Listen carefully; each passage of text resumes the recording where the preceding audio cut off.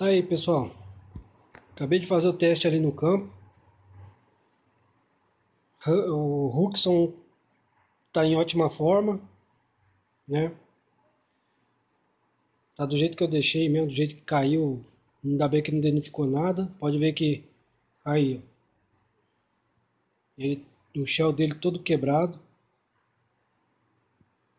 E ele renovado.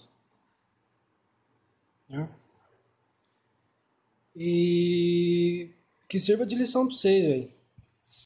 Que sirva de lição para vocês.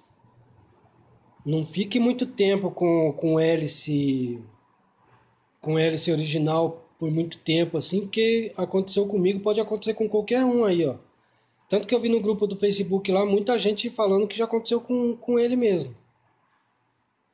Né? Então, eu futuramente eu vou pegar, vou, vou fazer adaptação, querendo ou não, vou ter que fazer adaptação para colocar a hélice de Mavic, né? Infelizmente, porque eu não estou confiando nas hélices da, da Hubson.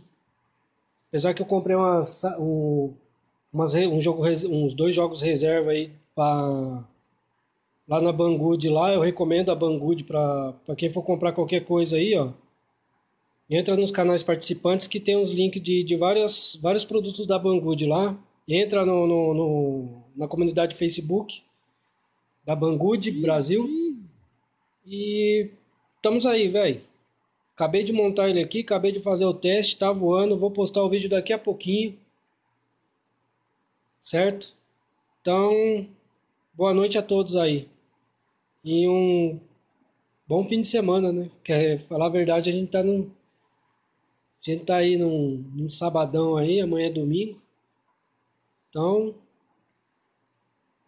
bom, feri bom feriado, ó. Bom final de semana pra vocês aí. Falou, velhinhos. Até mais.